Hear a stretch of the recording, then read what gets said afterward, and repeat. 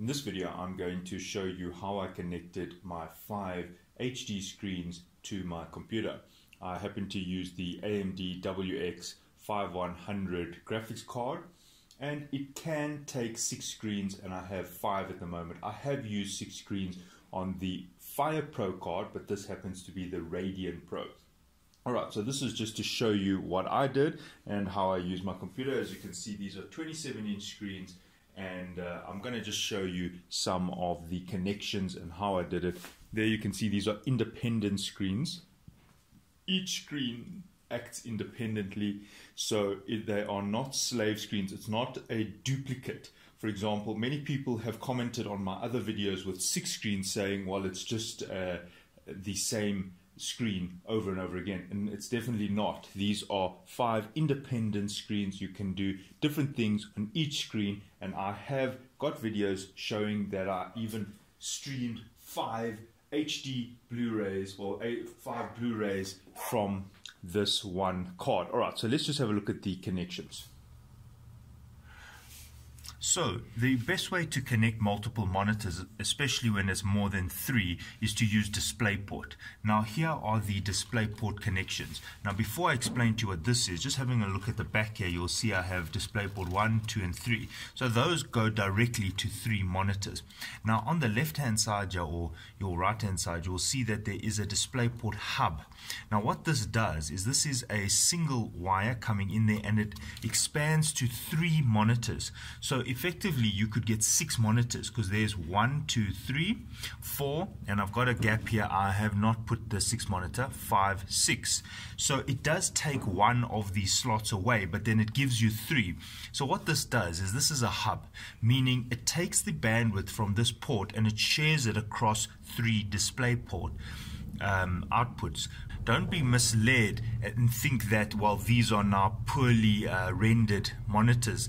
And no, not at all. You can still have 4K resolution on these outputs. So uh, this is a viable solution if you are having um, uh, space requirements or uh, uh, limitations and you want to have additional monitors. I've used this for more than three years and I have a video showing six monitors and it is stable and it runs well. If you do run into a problem, there is a, a reset button here on the back which you press it and it does reset the display port uh, uh, monitors. Okay, so what you got here is you've got three directly connected DisplayPort and two here, which gives you five. Now, it doesn't mean that you have to use DisplayPort for uh, in terms of the monitors.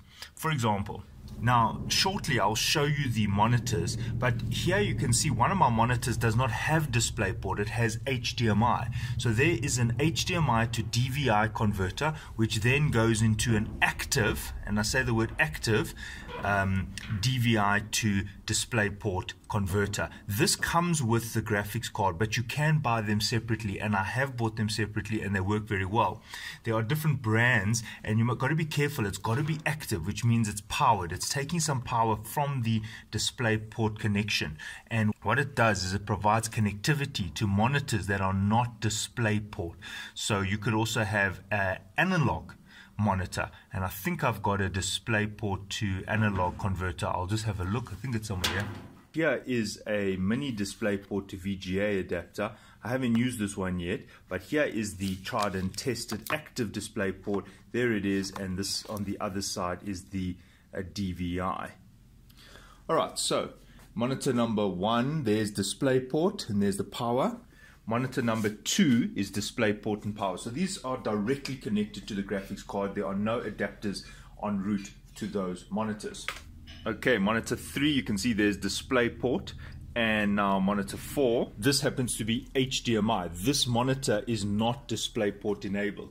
So you can have multiple monitors without having all of them on the DisplayPort platform. For example you could have even four of them could be uh, converted. So I showed you those little converters, and those converters work very well. You could have all your display ports on the um, on your graphics card set up to be converted to HDMI or DVI. So I'm just showing you here for um, example that it does work. Right, and then the final monitor is also DisplayPort enabled, so this is connected directly with the DisplayPort, and uh, that is how you, you, you connect up the five screens.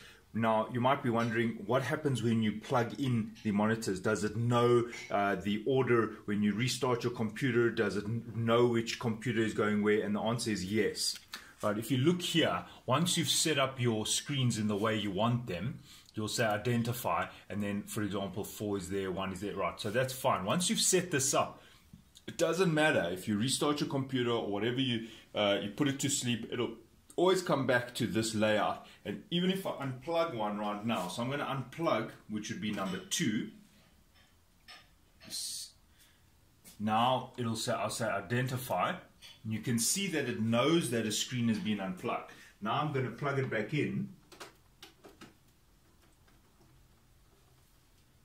And it should be able to identify that 2 was plugged back in and you see where it put it there. So even if your monitors get unplugged or bumped or the, the, the power cable gets uh, uh, switched off at the plugs, when you've set it up, it will remember it. Now, in the old days, it was a little bit more tricky. Sometimes you would come to the computer and it would have forgot the layout and you would have to use the Catalyst, uh, the AMD software to set up the uh, um, a layout. But now Windows 10 offers this very neatly, and you just use the native uh, screen settings on Windows 10, and it's fine. Now, you, you might also want to know if you change the custom scaling. For example, could this one have uh, uh higher scaling than this one? And the answer is yes, and it will remember that too. So you could have this on magnify mode, this one on a DPI of like 125, and so forth, and it will remember it and keep them uh, keep those settings from different from reboots or sleep modes. So it does remember the settings. Right, so this is my five screen full HD setup and I'm just showing you what it looks like and how I've aligned them. I've used various uh, stands as you can see. Yes, I know the wiring isn't great and this is my setup and I, uh, it works very well. And I've always said one screen is very slow. When I say slow, I mean in terms of work. Two screens, you will work twice as fast, meaning how, how fast you can get your work done. Three screens, you can add a third to your work um, your work rate. And then fourth, you can add another 10% and fifth. Sixth, well, that's just showing off. Anyway, thanks for watching.